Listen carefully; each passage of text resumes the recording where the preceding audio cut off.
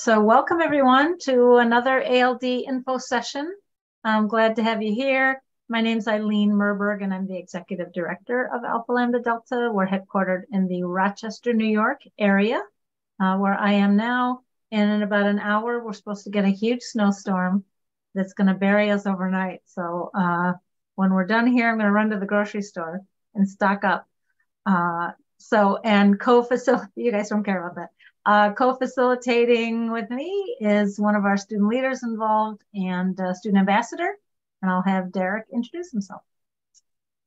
Hello, everyone. My name is Derek. I'm one of the student ambassadors for ALD, and I'll be helping with today's info session. And uh, I'm a junior in college. Where, even though it's behind you and you have a banner, where are you? I am at the University of Oklahoma, OU. Great. Okay. Uh, great. So um, we are just going to uh, share some basic info about Alpha Lambda Delta, answer any questions you have. Um, but one of the first things um, is what we're doing now with this week's info sessions is we're offering prizes. So what we're going to do is we do some random drawings um, uh, for gift cards. We're doing Amazon gift cards. And so what we're asking, if you want to enter uh, to win a gift card, um, if you could put the what school you are representing, what, what school you go to in chat. So um, I'll see your names and I can find your names in the invitation. Obviously, you are here because you got invited to join. So we already have you in our records as an invitee. Um, so if you want to go ahead and put in chat what schools you're from, uh, and then we'll do some random drawings for uh, two or three gift cards um, starting uh, to either later tonight or tomorrow. I'll, we'll pick names. So that's how we're doing the drawing. Um, and uh, bonus points if you engage more with us. We'll see if you have questions. Um, but we're going to try and answer um, most of your questions. All right. Thanks, everybody. That's good. A lot of Alabama, Maryland. Yep. Those are two huge uh, invitation groups. Um, Alabama, Huntsville, Ohio. Great. All right. Lots of Maryland. Good. Uh, okay. So, um, basically, uh, we just, like I said, want to give you an overview. So I'm not going to get into too much of our mission, but we are a National Honor Society. Um, our niche is first year students, and um, that our mission is really just all about supporting your academic achievement, recognizing it, first of all. You're all here because you um, were invited because you were eligible. Uh, and um, so, congrats on that. And our mission really uh, is to just promote academic excellence and help you continue uh, and hopefully even graduate um, with a really strong cumulative grade point average. Uh, I'll talk in a minute about how you're not required to uh, maintain this uh, GPA, but you're going to certainly be encouraged to and um, supported uh, too. So we've been around a long time, almost 100 years. Next year is our centennial. We're pretty excited about that. Um, we're uh, founded in Illinois, but we're pretty much all over the country in almost every state. Uh, and um, about 20,000 students join every year. And Derek and I are going to talk in a minute about legitimacy and scam organizations and sketchy organizations and how this might have seemed like one to you when you first got invited. It is very much not a scam. Um, and we are certified by the um, Association of College Honor Societies. It's the only certifying agency in the country. We've been a member since 1938, I think, like a long time. We've been meeting standards. We'll um, talk a little bit about that again. Um, like I said, you're you're eligible. You're you're um, you know certainly uh, met the criteria because you're invited, and that criteria was three five or higher your first semester at your university. So invitations tend to um, generally come in the spring semester after one semester of um, school. We're going to talk a little bit more about the fees, but let me just at least plant the seed because that's always a question is like, why do I have to pay? What's the money go for? Is it worth it? We get it. Um, but just know that I'm trying to understand that the fees, first of all, are different for every school, every chapter. And that's because our fee is 30 dollars, which is the national fee.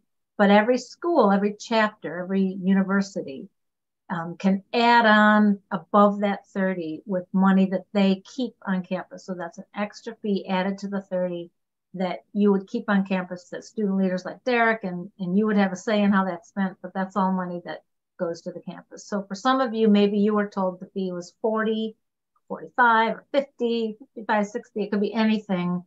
Um, just know that it's uh, 30 plus a local, what we call local fee or chapter fee. We'll talk more about money in a minute. Um, but that is it. Uh, we are very much, very strong in our stance that there are, are no other charges. There's no hidden fees, there's no extra fees, there's no annual fee.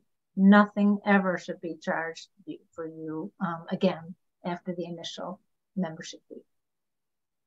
That's not always the case with other honor organizations or membership organizations. There are often annual fees, but not ALD. Um, so lots of benefits. We're going to talk a little bit more about them, and I'll let Derek uh, talk because you don't want to hear from me. Um, but uh, certainly as a student, he's benefited and, and can speak to that. Um, but certainly uh, lots of great benefits overall, both nationally from us, from the headquarters, and at the local chapter level. At a minimum, you do get a certificate and pin. That's with no involvement. You don't have to be involved, um, but uh, that's just a little um, representation of a certificate and a little insignia pin that you get. Um, Derek, you want to talk a little bit about induction ceremonies? I can't remember if you have before. Does Oklahoma do an in-person ceremony? Uh, yes, we have uh, done in-person ceremonies, and uh, we had one just a few months ago, and uh, they're very uh, nice, kind of simple, but um, nice looking as well. Um, you get to get uh, dress up a little bit, which is fun. And uh, it's a good little ceremony where you get to talk with a lot of people who are going to be joining you and you get to make some friends that you'll see in ALD over the years. Right. You don't have to go to it. It's not required that you go to be a member. Like, let's say the date doesn't work for you or you're, you're working or whatever. Um, but they're nice ceremonies. They're once, once a year. So it's, it's a typical event for an honor society for, for you to be inducted into it. So it's nice if you can go, if you do join. Um, and I asked about in person versus online. Obviously, we've done a lot of online ceremonies um, in the past couple of years, and we're continuing those just because some chapters like it. Um, but I think Maryland's, who else is here? Um, Maryland's is for sure in person. Alabama is in person. Ohio's in person. So I think all your um, Texas State in person. So I don't think you have online ceremonies, but anyway, um, if you do join and you can go, I encourage you to go. Okay, so we're just going to jump right into what we see are the commonly asked questions or the common myths, and um, I'll ask uh, Derek to chime in.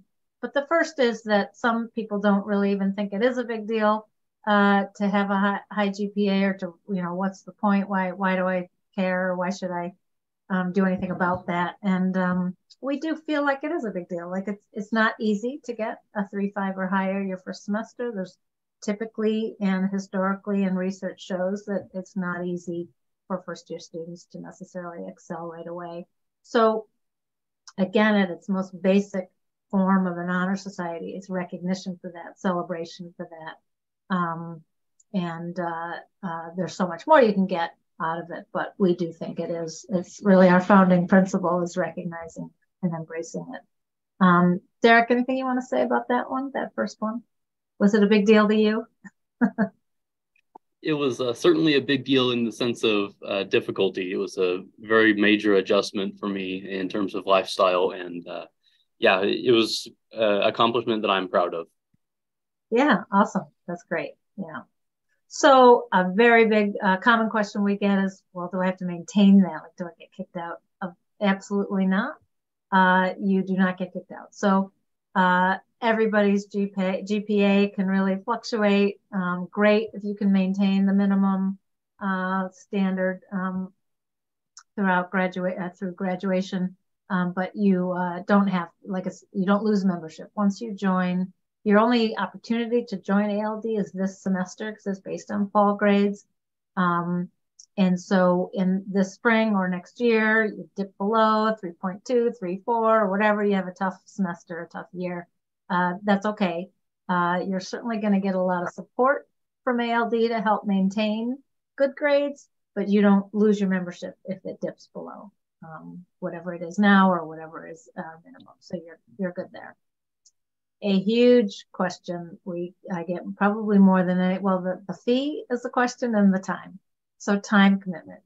A lot of students just say, you know, I've got so much on my plate, you're busy, you're high achieving, so you're already spending a lot of time studying. You might work, you might volunteer, you've got other things going on, family, church, a million things, right? And so you sort of think about joining something like this that is going to take up a lot of time. So the bottom line is there are no time requirements. Um, again, you're going to be encouraged to participate. There are going to be things going on on campus. I know that the chapters here today uh, are, are, do a lot on campus. They're really active and and um, big chapters on on your campuses. But you don't have to go to any events or meetings if you don't want to. Um, so again, encouraged. There will be things happening, not required. Derek, you want to say something about time? Yeah, it's really up to each individual person. Uh, if you only want to go to an event every once in a while, that's totally okay. Or if you want to go all in and go to everything, that's cool too. Yeah, and um, events really will vary. Some do, you know, events once or twice a week, and some do once a month, and you know, it's, it's really going to vary. And what does that mean? Well, there might be an event um, that is all about how to win a scholarship. That like that might be a workshop you want to go to on a Tuesday night at seven o'clock in the student union. Your chapter might offer something like, "Hey, let's come together and talk about how we find out where all the scholarships are." Uh, bring someone in to talk about how to write a good essay for a scholarship question, how to ask for a good letter of reference, uh, how to find out where the scholarships are that I might be eligible for that might be a program you really want to go to. You don't want to go to anything else, but you want to go to that scholarship program. Or maybe there's something on service that really speaks to your heart and it's something that has to do with homeless or um, soup kitchens or nursing homes or something. You might want to go to that. You just never know. There's all sorts of things that are going to go on on your campus related to Alpha Lambda Delta that you might pick and choose from. And last thing I'll say about time commitment is that your time is really going to change. Like right now, right in this moment today, you might feel like you have a lot on your plate, and you probably do, and you've got a lot going on, and you don't have time. But that's going to change for you. You're in your second semester. Um, things could change. This summer might open up. Next year, maybe your coursework is going to get a little easier for you because you're already um, doing well and you're learning how to learn. And so your schedule could really change for you. And so you never know what your time commitments might be down the road. And remember that membership is for life. So a year from now, two years from now, you might wish you were part of it because you want to go to an event um, because you have more time later. So time changes. Okay, let's talk about money. Um, why do I have to pay a fee? What's a fee all about? Um, Derek, I'm going to turn this one over to you to handle if that's okay, and then I'll chime in and embellish. yeah, absolutely. Um, so in my two years as a member of ALD, um, I think I've definitely got my money's worth from that membership fee um, and then some, like way beyond. Uh, part of it is that uh, you can sort of earn back that fee um, and more if you get a scholarship from ALD, and we do give out lots of scholarships.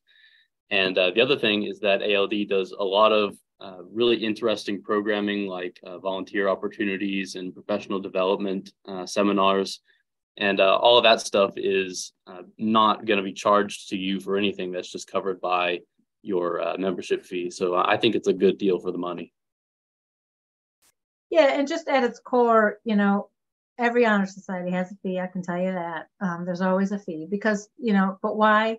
Well, first of all, we're all run by a national organization. So there's somebody's got to pay for that certificate and the pin and everything you get nationally. Our leadership program our career development stuff our scholarship program our conference. Like it you know it comes at a cost and we try and keep that fee as low as possible. And that's for $30 so for $30 you get this lifetime of stuff that is i think going to pay for itself. But that's why there's a fee because it costs something to to offer all of those services um, and as you may know, if you're involved in any other club on campus, you know that there's all kinds of money floating around and funds floating around with the other student organizations. There might be bake sales in the student union or some sort of fundraiser, or they got money from the student government.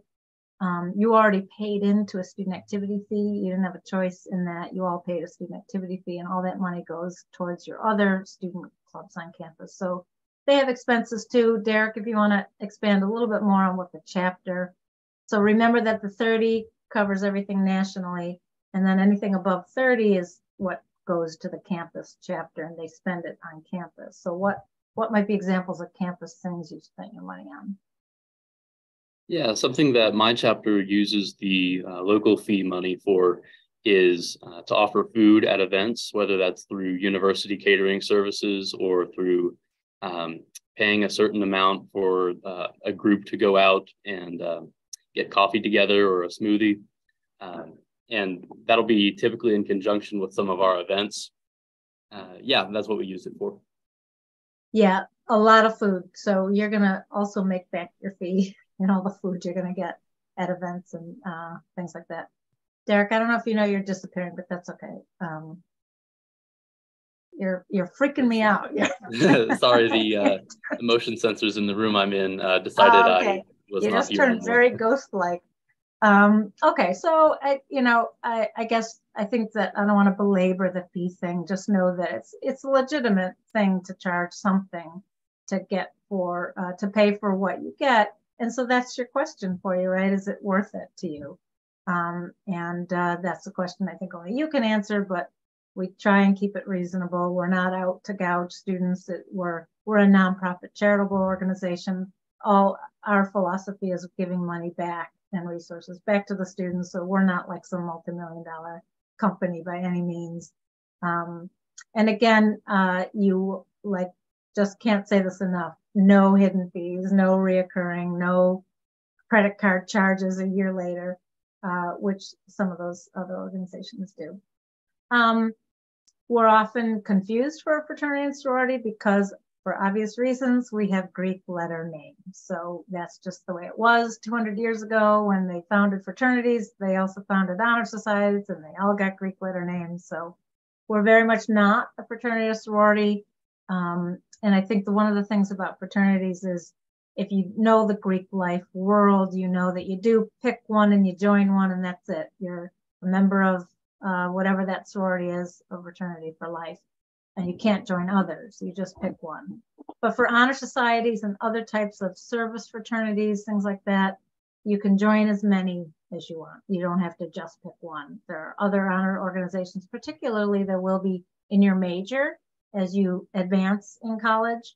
Um, so if you're a psychology major, your campus might have Psi That's a great honor society for psychology majors. So look for those types of honor societies. But right now, uh, ALD is for the is is to recognize first year success. So this is one of many you can join. Um, Derek, anything on those two things, but also maybe segue into the aren't aren't we all just scams? yeah. Uh, so ALD is not mutually exclusive. It's not going to prevent you from being in any other organization, or if you're interested in a fraternity or sorority, uh, being in ALD will not prevent you from doing that. Uh, there's sort of two separate worlds. And uh, yeah, the, there are a lot of honor society in invitations. Uh, I've gotten a couple of them over the years that are either kind of obviously scams or they could go either way, but they don't really do much. Uh, and so that's certainly something to look out for. But ALD is uh, completely in the other direction. Um, not at all a scam, and uh, I think you'll get a lot out of it if you join. Yeah, so just sort do your homework. If you did, if you got three other invitations or one other or ten others, um, just sort of look them up, uh, Google them. Hopefully, if they have a website, just know that there are a couple things, some red flags and things to look for. Um, if you're wondering about the legitimacy, uh, it, do they have an office anywhere or is it like a PO box somewhere or do they have an actual physical location? Because the PO boxes can be a little sketchy. It, it might mean it's just a business trying to just make money. Do they have actual chapters on a campus? Are they actively led by students and an advisor? Or again, are they just blanket inviting millions of students without any campus presence? So look for that. Um, do they have actual academic criteria? If you got invited, it might seem like they do because we know that you did uh, did well your first semester. But if you have friends that also got the same invitation and they got a, a 2.5 or 2.0 GPA, just know that these other organs they're just inviting anybody who they can find an email address for. Um, so, and is the fee really high? Is are they going to charge your credit card? There's one in particular I can tell you uh, does charge. They don't tell you, and they charge your credit card every semester. Um, but they don't tell you that they do that. So um, just be careful and do your homework. Um, and uh, yeah, do you want to say a little bit about involvement and even if you're not involved, how it might still benefit you there? Yeah, um, so uh, I do have ALD on my resume in two places actually, um, because it's a great way to meet people. And if you have it on your resume, people who see your resume uh, might recognize ALD because we are a pretty large honor society with a national presence. Uh, and so if you're going to a job interview and the interviewer can see that on your resume, they might say, oh, yeah, I've heard of that before, or maybe even I was in that when I was in college. Yeah, so that's sort of the benefit of even if you don't get involved. So that's sort of thing. Like uh, I think I you everybody here can probably understand that um, it might look a little different on your resume if you're involved in it, right? If you have a leadership position, um, that's going to appear somewhere else on your resume and, and enhance it. But even just having it on under the category of honors and recognitions or something, it's it's at least something to have. Again, if you don't want to get involved, which you don't have to. Um, if you do transfer, a uh, couple things about transferring. Uh, your membership, remember, is for life, uh, and it follows you wherever you go. Uh, so if you transfer to a school that has an ALD chapter, again, we're all over. Um, actually 400 schools, but 300 more like 300 are active. Um, then we'll transfer your record if you want. Just let us know, and we'll uh, let uh, the new chapter know, uh, the new advisor um, at your new place. Um, and you can be involved in that, and if you want, at your new school. But if you transfer to a school that does not have a chapter, we'd add you to our national chapter, which is just a an umbrella group that um, for anyone who transferred out um, just again to help you stay connected. Make we can send announcements if you want. You can opt in or out of that. It's up to you. You could also help us start a chapter at your new school if you wanted. If we didn't have a chapter there, that would be cool leadership experience because we're always looking to expand. So that's um, the deal. If you do transfer, your membership follows you. Derek, you want to take this on? We just want to just real briefly as we wind down, um, just again, let's just focus on what are the benefits? What do you get for your money? Absolutely. Uh, so one of the things that ALD does is what's called the LEADS Certified program. Uh, and that teaches you leadership skills and you get a leadership certificate from it. That's really neat. Um, also, financial assistance is a huge benefit. Um, I said earlier that we give out a lot of scholarships, and that's certainly true. Uh, $211,000 uh, in scholarship money to fund undergraduate education. And uh, also, the individual chapters can offer local scholarships. And I believe very many of them do. Uh, the one. I'm in certainly does. And uh, those are helpful as well for paying for college. And then the uh, perks program that ALD has, I think it's pretty unique and uh, it's mm-hmm. pretty amazing. Um, you have access to over 302,000 perks and discounts nationwide. Um, things like um, oil changes, just anything that you can imagine. Um, lots of discounts and uh, discounted rates on things because you're in ALD. Yeah, it's a lot very food focused, a lot of restaurants. If you enter your zip code, it'll even show you what's um, close by pizza, wellness products, like a million things. Um, and the LEAD certificate program, by the way, is optional, opt-in. It comes with membership, but you you don't you have to just let us know you want to do it, and it's self-paced. Um, and you could take the next three years to do it. There's no time limit. Any of those? Just yeah. Uh, so career preparation. Um, ALD can help you a lot as you're preparing for your career a lot of chapters will do things like uh, professional development presentations. I believe mine had one just a couple days ago that was about how to improve your resume and how to uh, seek out internships. You can get prepared for a career in that way. Another really neat benefit is that if you're in ALD, uh, typically uh, most people, if they start working for the federal government, they'll come in as a GS5, but just because you're in ALD, um, you'll automatically be a GS7, which is two levels higher. And uh, comes with um, additional pay. So that's a really neat benefit. ALD can also enhance your resume.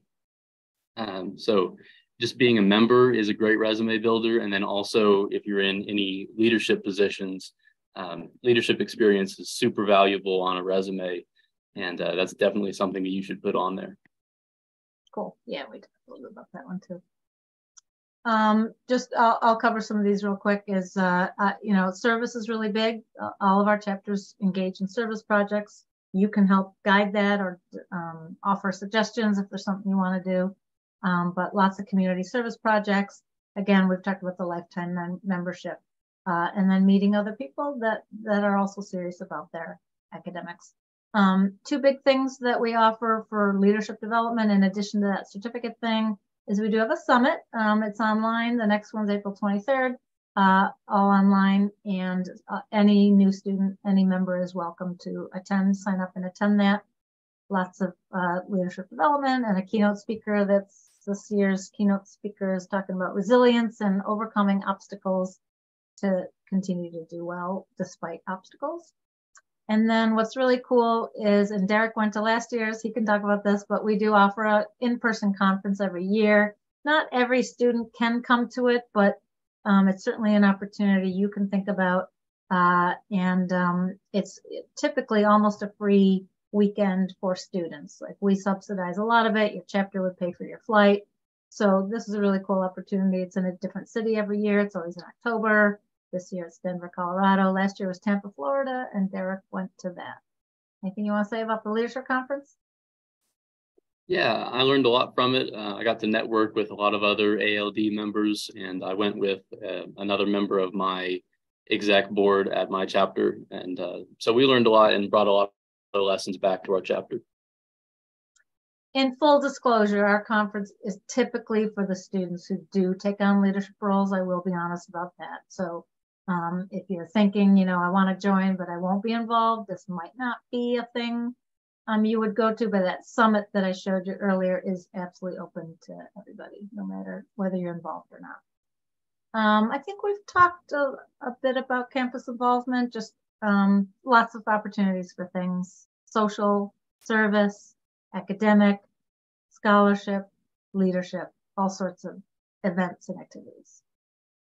Anything you want to say for that? Is that is that good in a nutshell? yeah, it sounds pretty good. Those are our five pillars, by the way. So you'll see your chapters will do events and stuff related to continuing academic success, service, scholarships, how to get scholarships, uh, leadership development, and social, having fun, doing fun things. Um, I, I, added this slide recently just because it, just know that ALD is not just because it's recognizing first year success doesn't mean it's just for your freshman year. That's just when you join. But you're welcome to and encouraged to, I mean, you're a member for life, but you, there will be things in the next three and a half years you can be part of or partake in, um, uh, up to including graduation. Now, when you graduate from your university, um, you're um, probably going to want to wear an honor cord, which would be cool. So honor cords are really popular. Um, and uh, so that's sort of the incentive to sort of stay connected to it. Um, and any student can purchase uh, an honor cord. Um, really, really encourage you to check us out on social media. We're at National ALD. Uh, in particular, Instagram is really our strongest account. We're sort of not really doing too much on Facebook these days. We've given up Twitter. Um, or a little bit on LinkedIn. Uh, we do have a, a, growing YouTube channel where we post a lot of our leadership um, workshops are all on um, YouTube. Uh, but we do some cool things on Instagram, including like Why Join Wednesday and Study Tip Sunday and Mental Health Monday and all sorts of cool tips on Instagram. So hopefully you could follow us. Um, the final thing to say really is to if you're because there's so many different chapters here today um, everybody's timeline is different your induction ceremonies are different dates your um, deadlines to join are on different dates just sort of look at your invitations in your email for all your appropriate dates um, there's a date by which you're encouraged to join so that a certificate can be printed and shipped to your chapter so you get it at the ceremony kind of thing. So just look at all those timelines and deadlines um, for your chapter based on your emails that you're getting. And, you know, we've got, well, we're a little pet, we're a minute over. I was thinking we'd be half hour, but um, any questions that you could put them in chat, you can unmute, you could email ALD at National ALD, you can text that text line